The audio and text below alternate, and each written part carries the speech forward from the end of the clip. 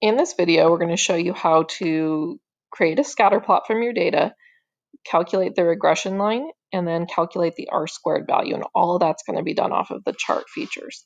So what we're going to do is we're going to come over here to your insert menu and we're going to insert a chart. And you'll notice that there's some things already labeled in our chart. And I'm going to show you how to get those labels in case that um, they don't show up. Um, and you'll notice that our chart is not a scatter plot. So let's start there. So I'm going to go over here to line chart and um, it gives me some suggestions, but in case those suggestions don't come up, um, I could scroll down and it gives me all different kinds of charts. So I'm going to choose a scatter chart, scatter plot, or a scatter chart. So now I've got my data, my, my plots all over the place. Um, and then um, I'm going to go ahead and go to customize. And I'm going to, let's say I want it, that the chart axes and title didn't come up. So maybe I want to um, change this right here. Maybe I want to just say that it's the scoops of ice cream sold. I don't care about versus days. And I want to edit it that way.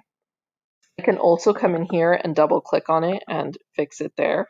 Ice cream sold from in first 10 days of July. All right, oh, and I lost it, didn't I? So I'm going to click right here and I'm going to go to edit chart and that menu is this chart editor is going to pop up again. So if I wanted to, um,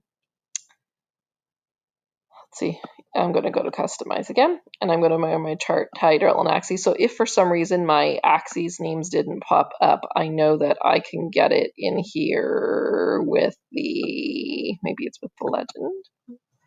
Um, probably with the legend. Oh, yes, there it is. And I can type into my horizontal axis what I wanted the name of. Um, and then um, same thing into the vertical axis. And typically, you can just double click on it and you'll be able to title that there.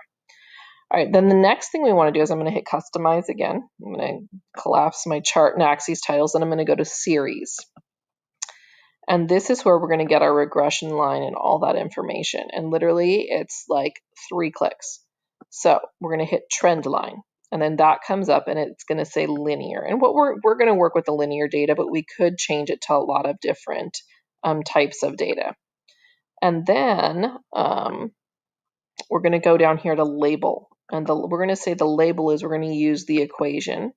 And you'll notice the equation that popped up doesn't say y equals. It's assumed that it's y equals or f of x equals, but it just calculated your equation for you there.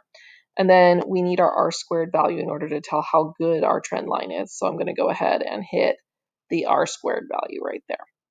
And that's it.